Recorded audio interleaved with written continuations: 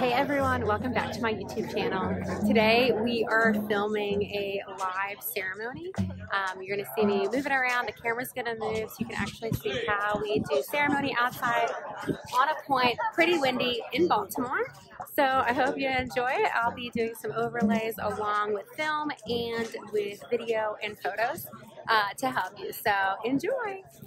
So um, I'm super excited to show you this portion of ceremony. Um, everyone is basically sitting. We're about to have officiant walk in. Um, Patrick and I are basically standing in two different places. Patrick is at the back. Um, I'm not sure if you can see that, but he is basically getting two angles. He's getting family walking um, in and Bridal Parade coming right out the door.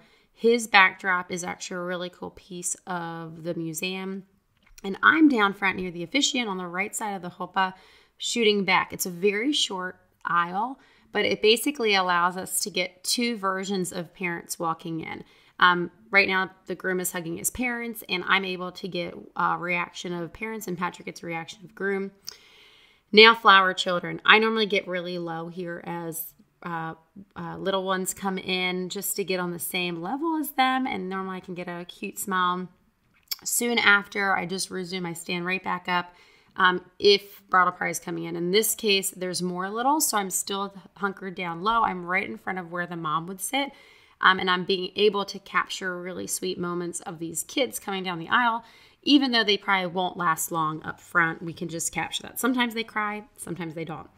All right, so now we have bridal party. Um, maid of honor comes out. In this wedding, there's only one. We have one sister representing bride side two sisters representing groom side, and that was it for bridal party. And um, in this scenario, this bride chose to stand a little bit farther than like we would would have liked her to. So it did impact aspect ratio, but that's totally fine. Um, okay, little ones coming in. These girls were so cute, super precious flower girls. They did a great job. I have really cute ones of them. Um, as you can see, just really sweet moments, and they did great. All right, next moment, we are going to have the bride and her dad come out. And um, normally people stand for this moment. So um, in this case, we have two people escorting the bride, mom and dad walking their daughter down the aisle. Everyone stands up. Um, at least they should stand up. And if they don't, yeah, they should. I guess they didn't. I, I actually didn't remember that they, they uh, sat. Normally they stand up. So sometimes that's to your benefit, sometimes it's not. Um, in this case, it was sweet and worked out perfect. Um, I ended up backing up here because there was three people and there were floral chuppahs, and I wanted to get the exchange of dad and mom giving away their daughter. Okay. Um, and then they go and sit down after they hug their daughter and their son.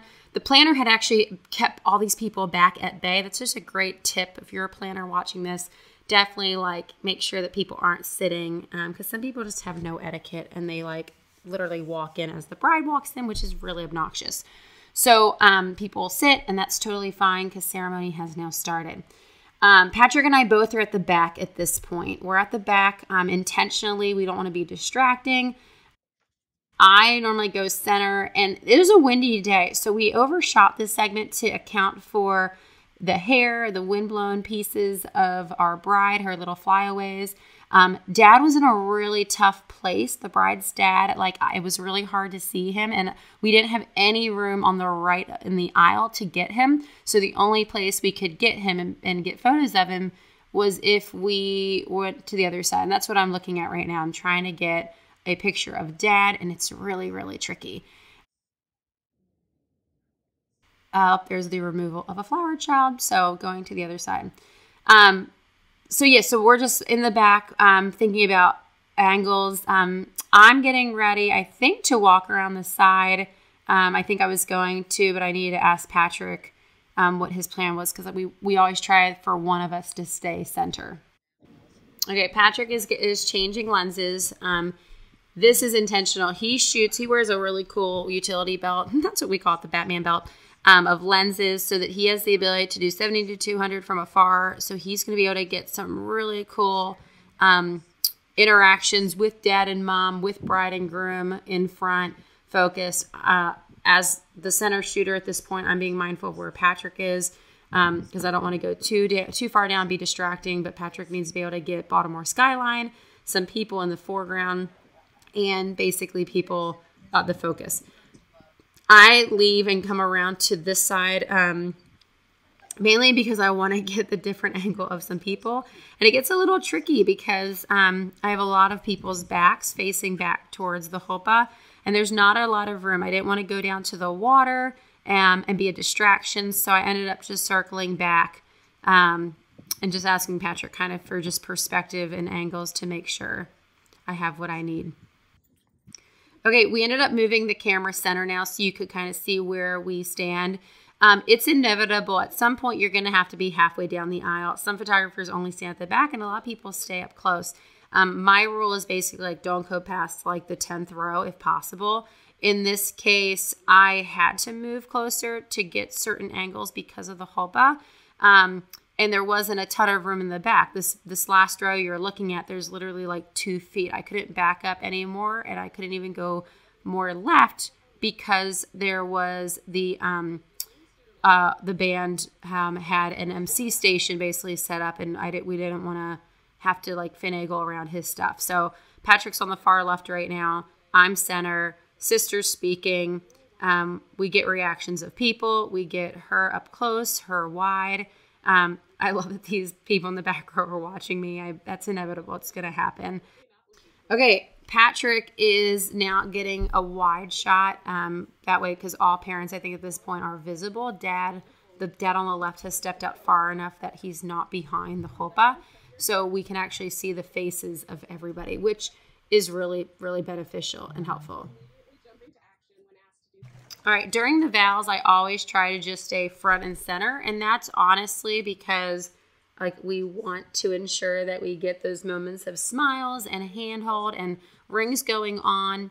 Um, so that's just a rule that we have is one of us is always center, even if it's funny and comical, need to get reactions of people. Like you still want to focus on your couple and make sure that you're capturing their personalities. All right, as we wrap up, um, I'm still getting reactions. Patrick and I always take turns to make sure that we get the parents um, at some point sitting down. In this case, parents are up. So we're both trying to get really great shots of the parents looking at their kids, um, which is like a big deal and really healthy. And those little kids are so cute. They're little. Um, thankfully, they were positioned in a place that we could get photos of them um, while, while being super cute. All right, so um, they are getting ready to change gears and do rings, which is really great. So, um, Patrick, as you can see, has moved down below. He's about to shoot back up to get a really cool shot with the venue behind. Um, if you have the opportunity to get a shot like this, it's really, really cool. In a in a church uh, at a Catholic mass, you you can't do that. You can't go up on the altar um, unless it's a super chill church and pastor. Every so often we get one of those. Um, but for this wedding, there's not really rules. You just want to be respectful, not invasive, not up in anyone's way. If you've noticed, like we haven't gone anywhere up near the chuppah. The closest I've gone is four rows from the front.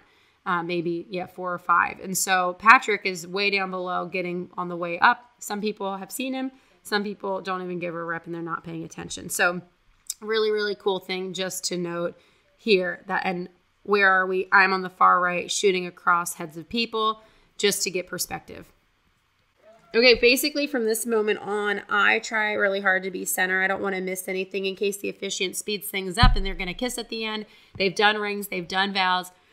I'm asking Patrick whether or not he's going to shoot tight or wide, and I'm basically telling him I'm going to just shoot really pretty vertical and horizontal within frame, not too much of bottom or skyline. He said he's going to shoot tight. Um, because he said that, I actually am going to also shoot wider um, and get Baltimore Skyline. So um, they're about to stomp the glass and kiss. Perfect. And from there, yeah, he's going to stomp on the glass. They're officially married. Ceremony is going to be complete and they're going to walk out. So the wind is, a, is an element that you just have to shoot in between wind gusts and people. And um, this is cool. We like to trigger hold for this to get um, motion. Sometimes we do a, a for people. Um, that's a setting in your camera. You can always change to high speed continuous shooting and just hold the trigger. Um, if you're afraid you're going to miss a segment, whether it's first kiss, uh, stomp, you know, glass, uh, stomping of the glass. Um, and in this case, they kissed and they stomped on the glass. Anyway, I hope this video was helpful, you guys. Thanks so much for watching, and we'll see you back here soon.